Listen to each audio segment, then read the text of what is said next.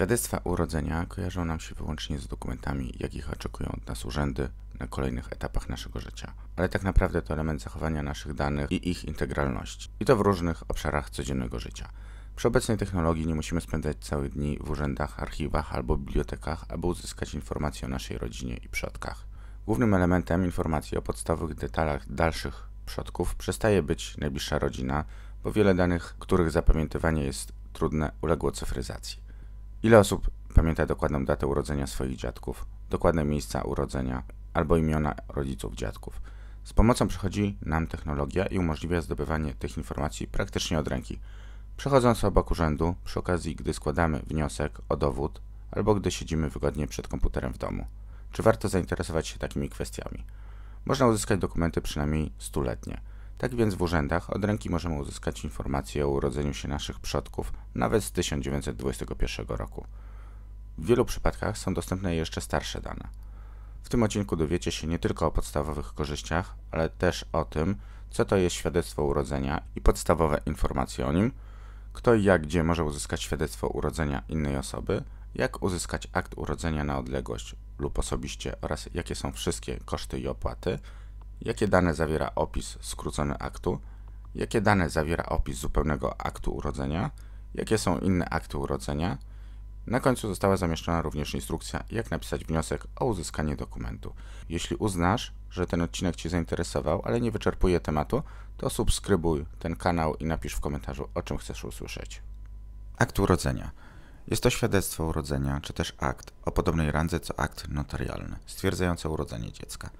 Co prawda, większość opracowań podaje określenie narodzin, ale trafniejszym określeniem będzie urodzenie się dziecka, ponieważ w przypadku, gdy dziecko urodzi się martwe, nie sporządza się wówczas aktu zgonu, ale robi wyłącznie adnotację w akcie urodzenia. Jest to przydatna informacja, zwłaszcza dla osób zajmujących się genealogią, ponieważ w większości przypadków ułatwia to poszukiwania i ustalenia tożsamości osób o tych samych imionach i nazwiskach. Akt urodzenia jest sporządzony i przechowywany przez Urząd Stanu Cywilnego, gdzie stwierdzono urodzenie.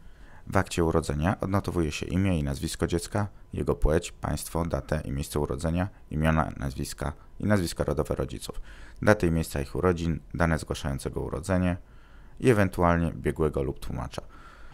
Do końca 2015 roku akt urodzenia był częścią Księgi Stanu Cywilnego i przechowywano go tylko w Urzędzie Stanu Cywilnego lub w Archiwum Państwowym. Natomiast od 2015 roku Akty urodzenia są przenoszone do rejestru stanu cywilnego, co zdecydowanie ułatwia do nich dostęp, przez to, że jest prowadzona digitalizacja. W przypadku, gdy potrzebujemy aktu urodzenia, można udać się do dowolnego urzędu stanu cywilnego i uzyskać jego odpis. W przypadku, gdy nie będą mieli danych w systemie, Urząd Stanu Cywilnego ma możliwość uzyskać interesujący nas akt w kilka dni. Dawniej dokumenty poświadczające pochodzenie oraz prawo do dziedziczenia były tworzone głównie na potrzeby warstwy szlacheckiej, a z 1000 1918 rokiem zdecydowana większość aktów urodzenia była wystawiana przez kościoły, cerkwie, synagogi i meczety. Miały one status dokumentów państwowych. Wiązało się to z tym, że często akt urodzenia był równoważny z aktem chrztu. Ciekawostką jest to, że w Polsce, w przypadku narodowości żydowskiej, na terenie zaboru rosyjskiego i pruskiego, urodzenia dzieci płci żeńskiej nie były rejestrowane. Akty urodzenia były wystawiane dopiero po kilku latach przy okazji np. ślubu czy konieczności wystawienia aktu urodzenia dla brata. Czym jest właściwie taki akt urodzenia? To tak naprawdę stwierdzenie pochodzenia dziecka. Czyli w prawie i genealogii stwierdzenie, że dane dziecko, czyli dana osoba, zostało urodzone przez określoną matkę w wyniku poczęcia z określonym ojcem. W prawie kanonicznym 1137 NNPK rozróżnia się i również w dawnym prawie cywilnym i rodzinnym rozróżniało się pochodzenie dziecka z prawego łoża. To jest ze związku będącego małżeństwem. Rozróżniało się to od pochodzenia z nieprawego łoża, czyli dziecka nieślubnego pozamałżeńskiego. Legalizacji takiego pochodzenia dziecka dokonywało się przez późniejsze zawarcie związku małżeńskiego, ważne lub mniemane, albo przez reskrypt Watykanu. W doktrynie prawa kanonicznego podnosi się, że kategoria potomstwa nieślubnego nie ma na celu dyskryminacji takich dzieci, lecz powinna działać prewencyjnie na rzecz dobra samego dziecka oraz odpowiedzialności i moralności rodziców. Jak wspomniałem, jest to dowód na pochodzenie dziecka, a więc temat mocno powiązany z obszarem genealogii. Świadectwa urodzenia są wiarygodnym źródłem informacji akceptowalnym przy ustalaniu pochodzenia dziecka, równoważnym z innymi dowodami. Natomiast w polskim prawie pochodzenie może być stwierdzone wyłącznie w akcie stanu cywilnego, jakim jest akt urodzenia. Pochodzenie może być ustalone bądź prawnie zmienione w wyniku uznania ojcostwa, powództwa o zaprzeczenie ojcostwa, powództwa o ustalenie ojcostwa, powództwa o ustalenie bezskuteczności uznania ojcostwa, powództwa o ustalenie macierzyństwa, powództwa o zaprzeczenie macierzyństwa. Powództwo może wytoczyć prokurator, rzecznik praw obywatelskich lub rzecznik praw dziecka. Zgodnie z łacińską sentencją mater semper certa est, certa est, matka zawsze pozostaje pewna. Jednakże zdarzają się sytuacje losowe, w wyniku których nie można jednoznacznie ustalić również matki. Porzucenie dziecka, podmiana noworodka, surogatka. Ma to miejsce w przypadkach, gdy sporządzono akt urodzenia dziecka nieznanych rodziców albo macierzyństwo kobiety wpisanej w akcie urodzenia dziecka jako jego matka zostało zaprzeczone. Jeżeli tylko ojciec jest nieznany, do czasu ustalenia ojcostwa jako jego imię wskazuje się imię wybrane przez zgłaszającego urodzenie albo kierownika Urzędu Stanu Cywilnego. Natomiast jego nazwisko i nazwisko rodowe pomija się i stosuje się nazwisko matki z odpowiednią wzmianką dodatkową. Podobnie ma to miejsce w przypadku, gdy w odpowiednim czasie nie wybierze się imienia dziecka. Wówczas również kierownik stanu cywilnego wybiera imię według własnego uznania. Jak wygląda pokrewieństwo prawne a faktyczne? Co do zasady, w linii prostej pokrewieństwo pokrywa się z pochodzeniem biologicznym. Istnieje jednak szereg sytuacji, w których dziecko prawnie pochodzi od jednej osoby, a dokładniej pary osób, a faktycznie od innych osób. Są to przypadki adopcji, uznania ojcostwa cudzego dziecka, niezaprzeczenia ojcostwa cudzego dziecka, różne sytuacje, gdzie ojciec nie jest ojcem prawnym, albo też surogatka zachowała genetycznie obce dziecko, podmiana dziecka, np. w szpitalu, wpisanie do akt metrykalnych rodziców fikcyjnych, jeżeli prawdziwi nie są znani. Obecnie pochodzenie nie daje żadnych skutków prawnych, prócz przesłanki różnych czynności ustalających bądź zaprzeczających pochodzenie dziecka. W różnych sytuacjach uznaniowo na zasadzie wyjątku może być źródłem uprawnień procesowych czy też socjalnych. Natomiast w genealogii pochodzenie prawne stanowi podstawowy problem badacza, ponieważ ustalenie w 100% prawdziwych informacji umożliwia dalsze kontynuowanie badań. Podczas tysiąca lat istnienia Polski, Polska znajdowała się pod zaborami, wskutek czego część dokumentacji była tworzona w innych językach. W przypadku obszarów pruskich przydatne mogą okazać się określenia takie jak proband, ascendent, descendent, ród, wywód przodków, drzewo genealogiczne, filiacja, koiacja, koicja, krewni. Kto może uzyskać ten dokument? Każda osoba, której akt dotyczy oraz jej małżonek, wstępni, wstępni, rodzeństwo, przedstawiciel ustawowy, np. rodzic lub opiekun, osoba, która wykaże interes prawny w uzyskaniu odpisu, czyli uzasadni interes, który wynika z przepisów prawa i przedstawi odpowiednie dokumenty, np. zobowiązanie sądu. Uzyskać dokumenty może również sąd, prokurator, organizacja społeczna, jeżeli uzasadni to swoimi celami statutowymi, instytucja administracji publicznej, np. Urząd Gminy. Wniosek o odpis stanu cywilnego można składać osobiście lub przez pełnomocnika. Zstępni, zstępni to potomkowie danej osoby, dzieci, wnuki, prawnuki. Wstępni to członkowie rodziny, od których wywodzi się dana osoba, rodzice, dziadkowie, pradziadkowie. Co jest potrzebne, aby uzyskać taki dokument? Jest potrzebny wniosek o odpis aktu stanu cywilnego, potwierdzenie wniesienia opłaty skarbowej. W urzędach stoją dedykowane automaty, w jakich można na miejscu opłacić dokument. Dokument potwierdzający interes prawny, jeżeli jesteś osobą z dalszej rodziny albo osobą spoza rodziny. Jeżeli jesteś osobą z rodziny, dokument jest zbędny. Jeżeli dokument dotyczy Ciebie, Twojego współmarzonka lub rodzeństwa, Twoich wstępnych lub wstępnych, czyli kogoś z Twojej rodziny. Musisz mieć ze sobą również dokument tożsamości, np. dowód osobisty lub paszport. Świadectwo można odebrać na trzy sposoby. Odebrać osobiście w Urzędzie Stanu Cywilnego, wówczas uzyskuje się odpis w formie papierowej, lub otrzymać pocztą, czyli pocztą otrzymuje się również w formie papierowej. Można również otrzymać w formie elektronicznej na skrzynkę ePUAP. Jest możliwość uzyskania wersji wielojęzycznej, np. po angielsku ale w formie elektronicznej jest możliwa wyłącznie wersja polska. Dlatego jeżeli mieszkasz w innym kraju niż Polska, dobrze zaznaczyć wysyłkę dokumentu pocztą. Dokument jest drukowany w formie tradycyjnej papierowej i jest możliwość wydrukowania wersji również po angielsku. Jaki jest koszt? 22 zł za odpis skrócony aktu stanu cywilnego, też za odpis wielojęzyczny w formie papierowej, czyli około 4,64 euro lub 4,63 dolara. 33 zł za odpis zupełny aktu stanu cywilnego, czyli około 6,96 euro lub 6,94 dolara. Jeśli sprawę realizuje pełnomocnik, to aby jego pełnomocnictwo było ważne, należy wnieść opłatę administracyjną w wysokości 17 zł, to jest około 3,58 euro lub 3,58 dolara. Odpis aktu jest bezpłatny, gdy potrzebujesz go w sprawie uzyskania dowodu osobistego lub paszportu, świadczenia socjalnego, pomocy społecznej, jako dokument dla ZUS-u, w sprawie ubezpieczenia społecznego lub ubezpieczenia zdrowotnego, alimentów, przyznania opieki, kurateli, adopcji, zatrudnienia, wynagrodzenia za pracę. Ile czasu to trwa? Z praktyki, jeżeli udasz się osobiście do urzędu, otrzymujesz dokumenty praktycznie od ręki, jeżeli znajdują się w systemie lub danym urzędzie. Oficjalnie, jeżeli akt jest w elektronicznym centralnym rejestrze stanu cywilnego, otrzymasz go w ciągu 7 dni kalendarzowych od dnia, w którym wniosek wpłynął do urzędu. Akty są sporządzane w rejestrze od 1 marca 2015 roku. Akty sporządzone w papierowych księgach przed tą datą muszą być do niego przeniesione, dlatego może to zająć troszeczkę więcej czasu. Jeżeli złożysz wniosek w Urzędzie Stanu Cywilnego, w którym jest akt w formie papierowej, ale nie został on jeszcze przeniesiony do rejestru, otrzymasz dokument w ciągu 7 dni roboczych od dnia, w którym złożysz wniosek.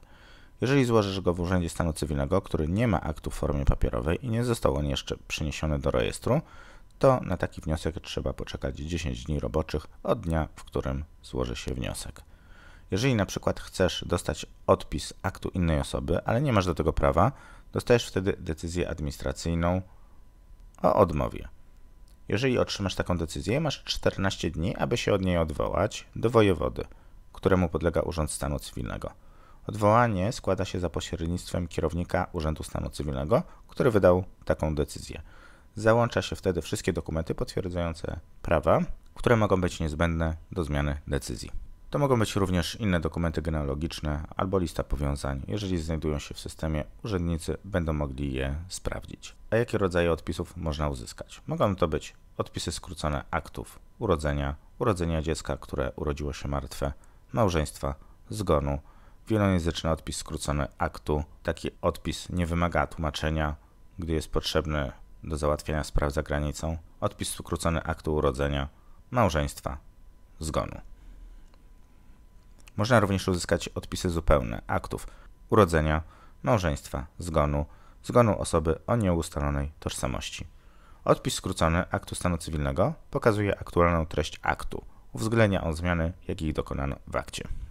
Odpis zupełny aktu stanu cywilnego zawiera więcej informacji niż odpis skrócony. Stanowi dokładne powtórzenie treści aktu stanu cywilnego z chwili jego sporządzenia wraz z treścią późniejszych zmian. Odpis skrócony aktu urodzenia. Co zawiera taki skrócony odpis aktu urodzenia? Składa się on z czterech obszarów. W pierwszym obszarze znajdują się dane opisane jako dane dziecka i są zawarte tam informacje takie jak imię pierwsze, imię drugie, imiona kolejne, nazwisko, płeć, data urodzenia, miejsce urodzenia, kraj urodzenia. Mamy drugi obszar, w którym są podane dane rodziców. Są to imię, imiona ojca, a następnie matki oraz nazwisko rodowe ojca i matki.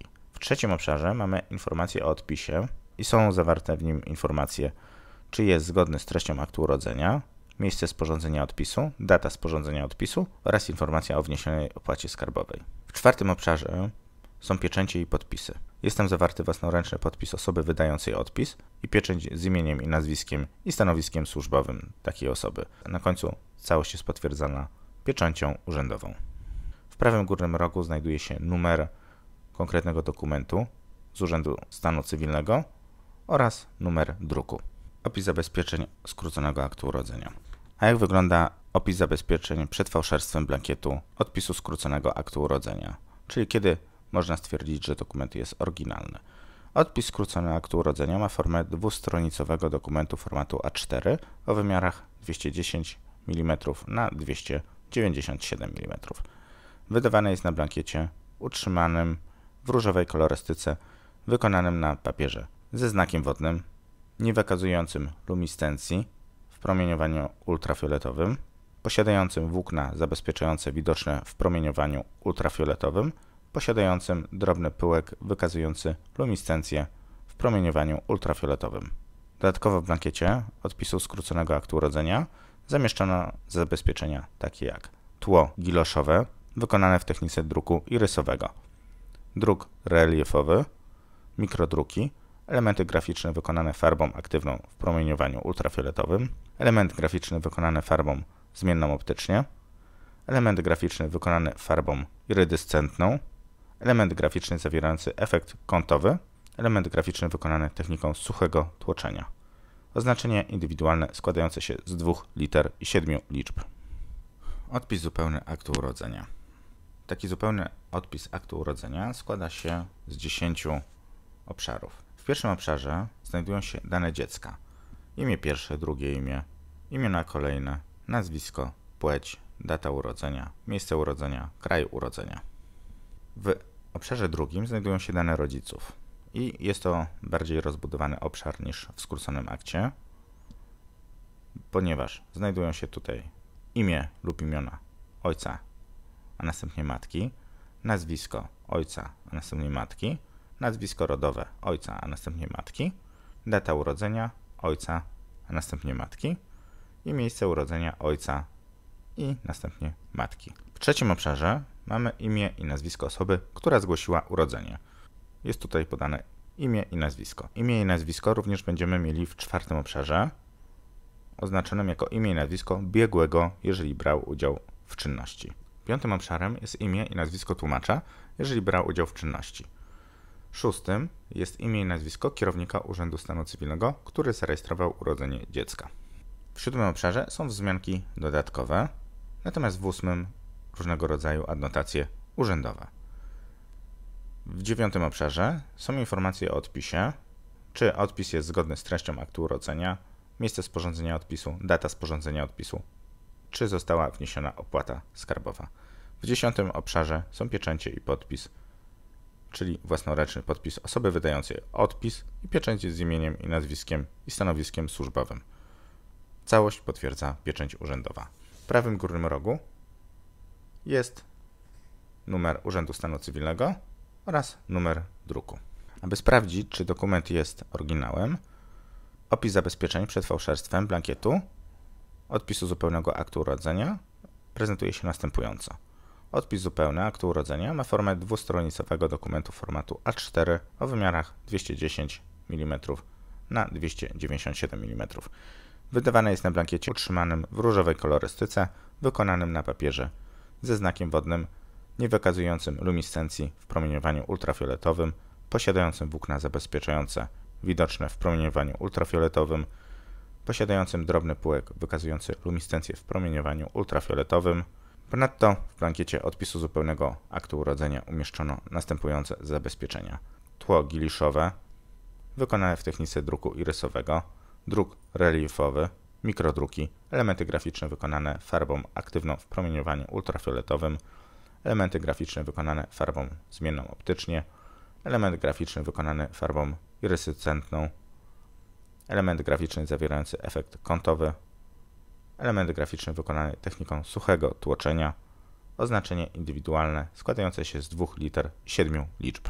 Odpis skrócony aktu urodzenia dziecka, które urodziło się martwe. Pierwszy obszar to dane dziecka. Imię pierwsze, imię drugie, imiona kolejne.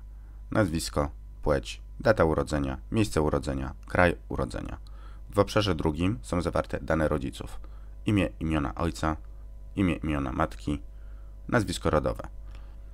W trzecim obszarze jest adnotacja o martwym urodzeniu. W czwartym obszarze informacja o odpisie, czy jest zgodny z treścią aktu urodzenia, miejsce sporządzenia odpisu, data sporządzenia odpisu i wniesiona opłata skarbowa. W piątym obszarze są pieczęcie urzędowe i podpis. W prawym górnym rogu jest numer Urzędu Stanu Cywilnego, a poniżej numer druku. Opis zabezpieczeń przed fałszerstwem blankietu odpisu skróconego aktu urodzenia dziecka, które urodziło się martwe. Odpis skrócony aktu urodzenia dziecka, które urodziło się martwe, ma formę dwustronicowego dokumentu formatu A4 o wymiarach 210 mm na 297 mm. Wydawany jest na blankiecie utrzymanym w różowej kolorystyce, wykonanym na papierze ze znakiem wodnym. niewykazującym lumiscencji w promieniowaniu ultrafioletowym, posiadającym włókna zabezpieczające widoczne w promieniowaniu ultrafioletowym, posiadającym drobny pyłek wykazujący lumiscencję w promieniowaniu ultrafioletowym. Ponadto w blankiecie opisu skróconego aktu urodzenia dziecka, które urodziło się martwe, umieszczono następujące zabezpieczenia. Tło giloszowe wykonane w technice druku rysowego. Druk relifowy, mikrodruki, elementy graficzne wykonane formą aktywną w promieniowaniu ultrafioletowym, element graficzny wykonany farbą zmienną optycznie, element graficzny wykonany farbą iryscyentną, element graficzny zawierający efekt kątowy, element graficzny wykonany techniką suchego tłoczenia oraz oznaczenie indywidualne składające się z dwóch liter i siedmiu liczb. Jak wygląda taki wniosek? Jest to ogólny wzór wniosku, który będzie odpowiedni w każdym urzędzie stanu cywilnego. Adresujemy na kierownika Urzędu Stanu Cywilnego. W lewym górnym rogu zamieszczamy swoje imię i nazwisko. W przypadku, gdy reprezentujemy inną osobę albo inna osoba nas reprezentuje, jest zamieszczany pełnomocnik. Dodatkowo zamieszczamy nasz adres zamieszkania oraz telefon kontaktowy. W prawym górnym rogu podajemy datę. Sam wniosek o wydanie odpisu skróconego, zupełnego lub wielojęzycznego aktu urodzenia powinien zawierać informacje takie jak imię lub imiona osoby, o jaką wnioskujemy, nazwisko rodowe osoby, o jaką wnioskujemy, numer PESEL, jeśli taki ta osoba posiadała, imię ojca, imię matki, nazwisko rodowe matki, datę urodzenia w formacie dzień, miesiąc, rok, miejsce urodzenia, numer aktu, jeżeli jest znany, liczbę odpisów, jaką potrzebujemy i cel wydania odpisu. Następnie podpisujemy się, a na drugim polu jest miejsce dla osoby przyjmującej wniosek. Na drugiej stronie mamy oświadczenie o wyrażeniu zgody na przetwarzanie danych osobowych. Jest to standardowa klauzula w zakresie RODO. Następnie jesteśmy informowani o kosztach opłaty skarbowej za odpis skrócony i odpis zupełny aktu urodzenia. Podstawą prawną jest ustawa z dnia 16 listopada 2006 roku o opłacie skarbowej. So back to what I was saying. Be us.